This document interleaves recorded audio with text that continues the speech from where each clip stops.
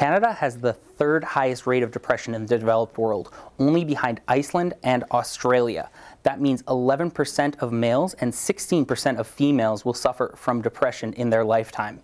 That means antidepressant use has been on the rise. It's doubled since between the years of 1994 and 2010. That means big bucks for pharmaceutical companies. Since 2000, they've averaged over $13 million per year in the sale of antidepressants.